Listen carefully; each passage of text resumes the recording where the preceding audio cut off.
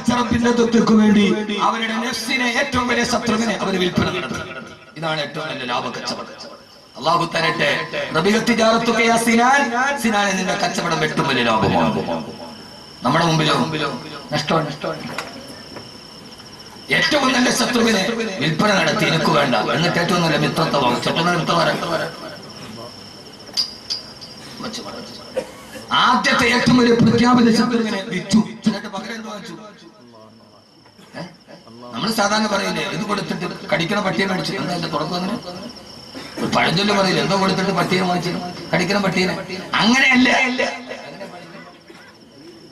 കയ്യിരുന്ന കാശ് കൊടുത്തിട്ട് കടിക്കണ പട്ടീനെ വിളിച്ചു. വഫി റിവായത്തിന് ഉഖറ വേലിയിൽ നിന്ന് തോളിനെടുത്തു ആ വേലിയിൽ നിന്ന് പാമ്പിനെടുത്ത് തോളി വെച്ചു.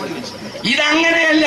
ഏറ്റവും വലിയ ശത്രുവിനെ കൊടുത്തിട്ട് മിത്രത്തെ വാങ്ങിച്ചു. ഏറ്റവും നല്ല മിത്രം ആരാ നമ്മളോട് ഏറ്റവും സ്നേഹമുള്ള ആരോടാ?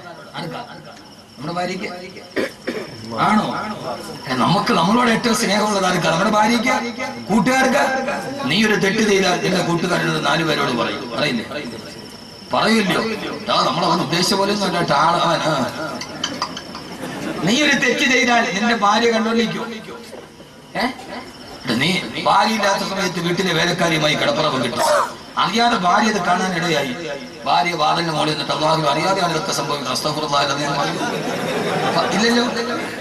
യഥാർത്ഥത്തിൽ ആ സമയത്ത് നീ ഒരു തെറ്റ് ചെയ്താൽ നിന്റെ കൂട്ടുകാർ വിളിച്ചു പറയും. നീ ഒരു തെറ്റ് ചെയ്താൽ നിന്റെ ഭാര്യ നിന്നോട് വിളിച്ചു പറയും. പക്ഷേ ഒരു നീ തെറ്റ് ചെയ്താൽ ആദ്യം കാണുന്നടാരാ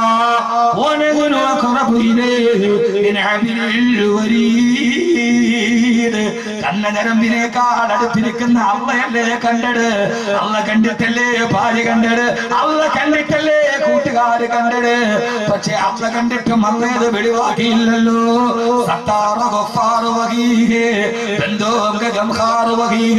അവനാ തെറ്റിനെ ആരും അറിയാതെ മറച്ചു വെച്ചു വെച്ചു അല്ലേ? കാരണം എന്താ എന്റെ റബ്ബി എന്റെ റബ്ബ് ഏറ്റവും അടുത്തവനാണെങ്കിലും വധൂതിൽ അവൻ എന്നോട് ഏറ്റവും സ്നേഹമുള്ളവനാ. വധൂത് എന്ന് പറഞ്ഞാൽ ഏറ്റവും സ്നേഹമുള്ളവൻ.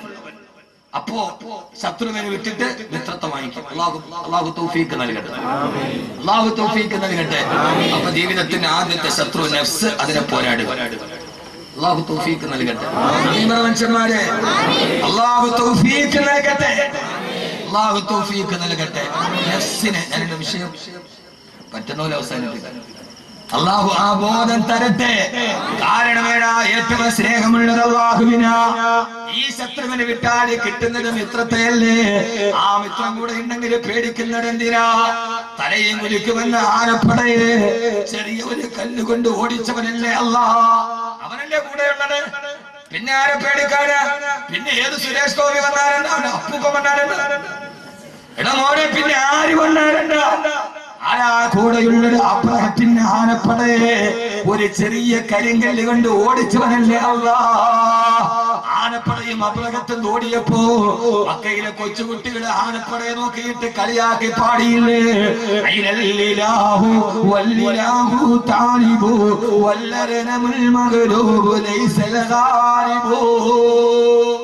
ചരിത്രത്തിൽ കാണാം അപരഹത്തിന് ആനപ്പട ആകാശത്തുനിന്ന് വെട്ടുകിളി എറിഞ്ഞ ആനയെറിഞ്ഞു പിടിച്ചതാര വെട്ടുകിളി. വെട്ടുകിളിയുടെ കയ്യിലിരുന്നിട്ട് അലം തര കൈഫ ഫഅല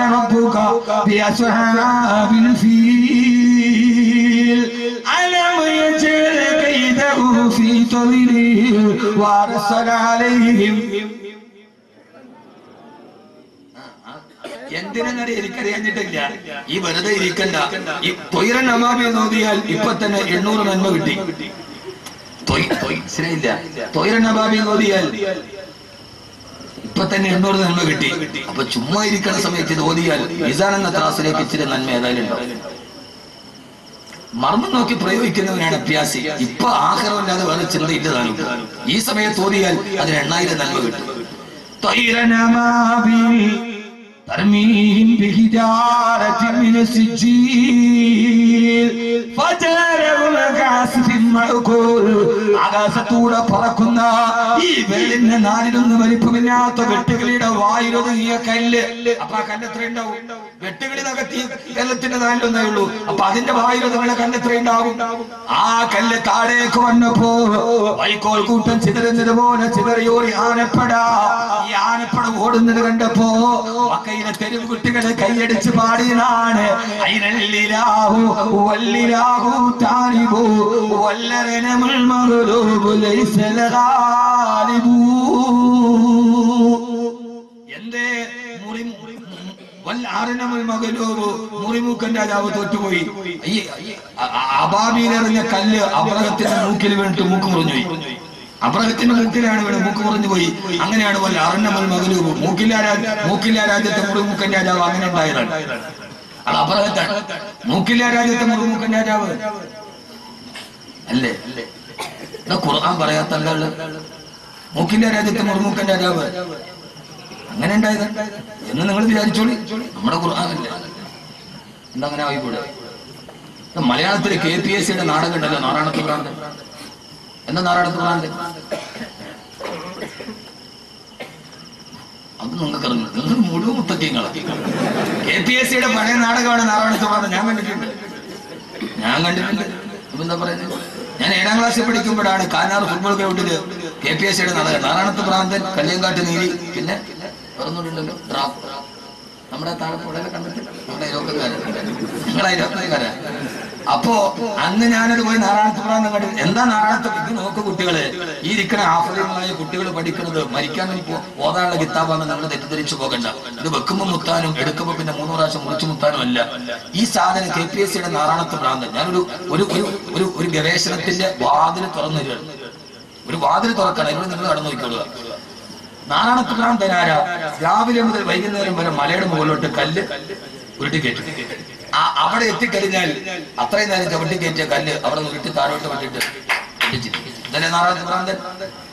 ആണല്ലോ അത് കണ്ടിട്ട് കേരളം കേരളത്തിന്റെ സാഹിത്യ ചരിത്രത്തിൽ ഇത്രയും വലിയൊരു കഥാപാത്രം ഇല്ലെന്നാണ് കാളിദാസ് കൃഷ്ണനായ അല്ലേ?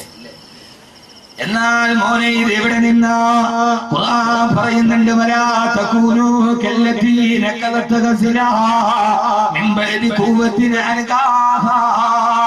രാവിലെ മുതൽ വൈകുന്നേരം വരെ നൂൽ നൂറ്റിട്ട് വൈകുന്നേരം ആ നൂറ്റ നൂൽ തിരിച്ചു കിടക്കുന്ന പെണ്ണിനെ പോലെ നിങ്ങളാവാൻ പാടില്ല.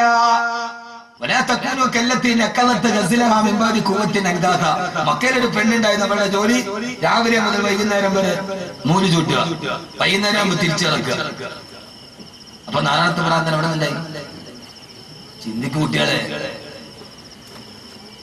ഡൽഹി ശാസ്ത്ര കോൺഫറൻസിന്റെ പ്രബന്ധത്തിൽ ഇന്ത്യയിലെ ശാസ്ത്രജ്ഞന്മാർ അവതരിപ്പിച്ചത് പുഷ്പക വിമാനമാണ് ലോകത്തിലെ വിമാനത്തിന്റെ ആദ്യത്തെ റോൾ മോഡൽ. ഈ കഴിഞ്ഞ മാസം നരേന്ദ്രമോദിയുടെ സർക്കാർ വാടകയ്ക്കെടുത്ത ആളുകൾ അവതരിപ്പിച്ചത് ലോകത്തിലെ ആദ്യത്തെ വിമാനം പുഷ്പക വിമാനമാണ്. ആദ്യത്തെ പ്ലാസ്റ്റിക് സെക്രട്ടറി ഗണപതിയുടെ തല വെട്ടിട്ട് അതിന്റെ മുകളിൽ. നീ നോക്കണം എന്റെ കാര്യം എന്നാൽ വിവരമുള്ള മുഴുവൻ ഹിന്ദുക്കളും പറഞ്ഞു ഇത് ഭാരത ദർശനത്തെ അപമാനിച്ചു സാഹിത്യ അക്കാദമിയുടെ ചെയർമാൻ പോലും പറഞ്ഞു. ഇത് അന്ധവിശ്വാസത്തിനെതിരും അബദ്ധജടിലും മിഥ്യാധാരണകളും ശാസ്ത്രബോധം തൊട്ടു നിന്നിട്ടില്ലാത്ത കണ്ടുപിടുത്തങ്ങൾ. ഗണപതിയുടെ തല വെട്ടിയിട്ട് അതിന് മുകളിൽ ആനയുടെ തല വെച്ചതാണ് ആദ്യത്തെ പ്ലാസ്റ്റിക് സർജറി അർജുനനും സൂര്യപുത്രനായ കണ്ണനും തമ്മിൽ യുദ്ധമുണ്ടായപ്പോൾ അസ്ത്രം കൂട്ടിയെടുത്തപ്പോഴാണ് ആദ്യത്തെ വൈദ്യുതി ഉണ്ടായത്. ഏത് മണ്ഡലത്തിലെ പറഞ്ഞു. ആരെങ്കിലും പുഷ്പക വിമാനമാണ് ആദ്യത്തെ. ആ, അബ്ബാസിന് സർഫറാസ് എന്ന മനുഷ്യനുണ്ടായിരുന്നു. അദ്ദേഹം സൂറത്തിൽ മുലുക്കോലിക്കൊണ്ടിരിക്കുമ്പോ അവനം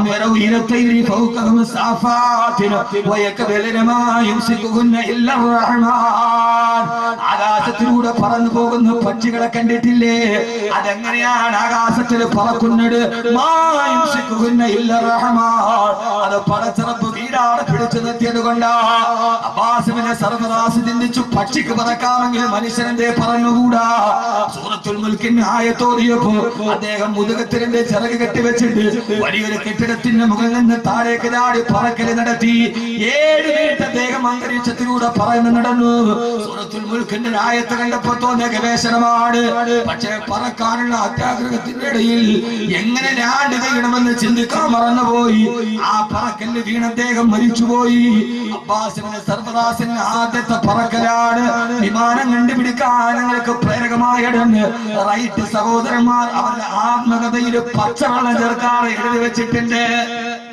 അപ്പൊ ഇത് ആരെ നേട്ടോ? പറമണിൽ ആരെ നേട്ടോ? ഖുർആൻ പുസ്തകമാനാണ് എന്റെ കാരണം അതിനകത്ത് അള്ളാഹു തൗഫീഖ്. ഞാൻ തലച്ചറ പ്രസംഗിക്കരുത്. ഖുർആൻ സാധിച്ച വിപ്ലവം. ആയുർവേദം ലോകത്ത് ആദ്യമായിട്ട് പറഞ്ഞത് ഖുർആനാണ്. ജനസംഖ്യാ ശാസ്ത്രം ആദ്യം പറഞ്ഞത് ഖുർആനാണ്. ബയോളജി പറഞ്ഞ ഖുർആനാണ്. നോൺ വെജിറ്റേറിയൻ ആണോ വെജ് വെജിറ്റേറിയൻ ആണോ ഏറ്റവും നല്ല ഭക്ഷണം എന്ന് ലോകത്ത് പറഞ്ഞൊരു ഗ്രന്ഥം? പറയണോ? നമ്മുടെ വിഷയമാണ് വെജിറ്റേറിയൻ ആണ്? ഏറ്റവും നല്ല ഞാൻ ഉപാധാനം പറയാം നാളെ ഇതിന്റെ ബാക്കി ഞാൻ തലച്ചറ പറഞ്ഞിട്ടുണ്ട്. വെജാണ് ഏറ്റവും നല്ല ഭക്ഷണം അത് നോൺ വെജാണ് നല്ലതാണ് വെജ അറ്റാക്ക് വരുമ്പോൾ ഡോക്ടർമാർ പറയും ആളയിറച്ചി തിന്നുന്നത് നിർത്തി നിർത്തണം. ഇനി പച്ചക്കറി തിന്നോ. ഏറ്റവും നല്ല ഭക്ഷണം ഏതാ? ശരീരത്തിന് ഏറ്റവും നല്ല ഭക്ഷണം ഏതാ? പച്ചക്കറി.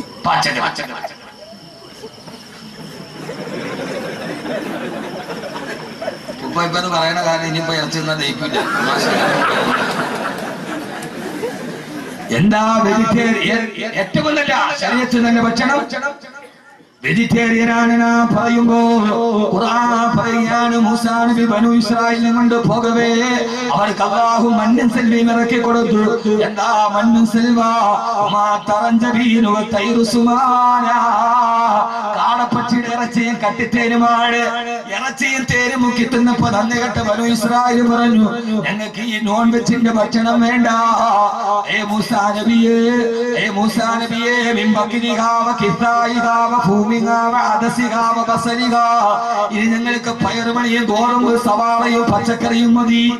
ആ സമയത്ത് നോൺ വെച്ച് കൊടുത്തപ്പം വെച്ച് മതി എന്ന് പറഞ്ഞ ബനു ഇസ്രായേലിനോട് മൂസാ നബി പറഞ്ഞ വാക്ക് ഖുർആൻ പറയുന്നുണ്ട് അത്തസ്തബിദിലൂനല്ലദീ ഹുവ بالذي هو خير ഏറ്റവും മുന്തിയ ഭക്ഷണം എന്നിട്ട് ഏറ്റവും ലോക്കൽ ഭക്ഷണം നിങ്ങൾ ചോദിച്ചു വാങ്ങുകയാണോ? അപ്പൊ ഏറ്റവും മുന്തിയ ഭക്ഷണം തിരിച്ചു പാടെ ഏറ്റവും മുന്തിയ ഭക്ഷണം നോൺ വെജാണ് ഏറ്റവും താഴ്ന്ന ഭക്ഷണം വേണ്ട.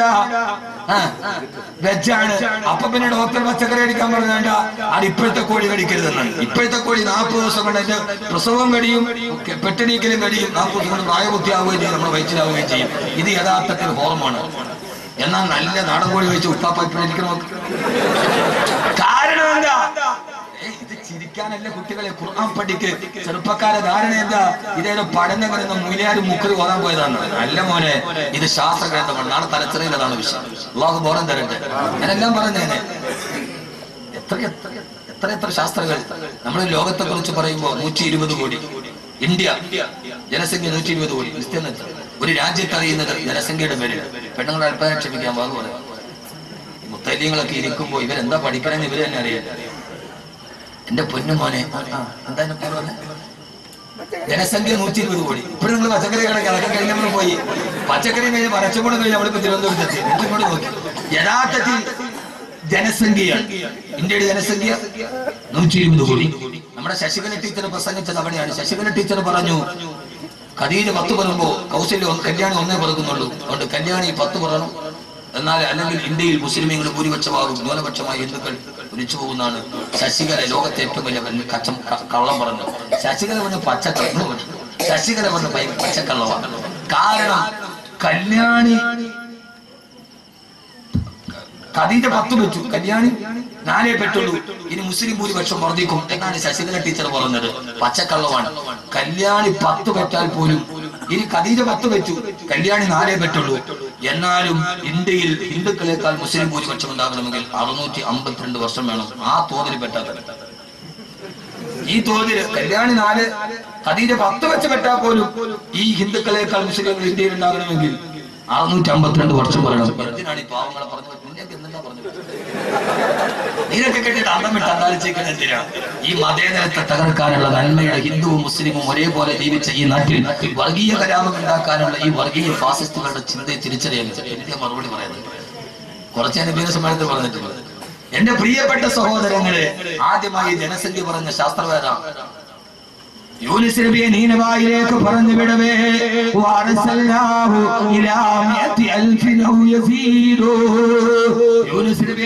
പറഞ്ഞു വിട്ടത് ഒരു ലക്ഷം വരുന്ന ജനസംഖ്യയിലേക്കാണെന്ന് വിശുദ്ധ ഖുർആൻ.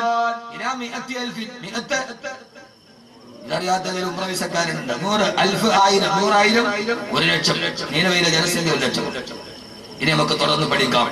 ഈ ഖുർആൻ ഇങ്ങനെ ഉള്ളത് കൊണ്ടാണ് ലോകത്തിലെ ഏറ്റവും വലിയ ഇസ്ലാമിന്റെ ശത്രുക്കൾ ഖുർആാനിനെ തകർക്കാൻ ശ്രമിച്ചത്.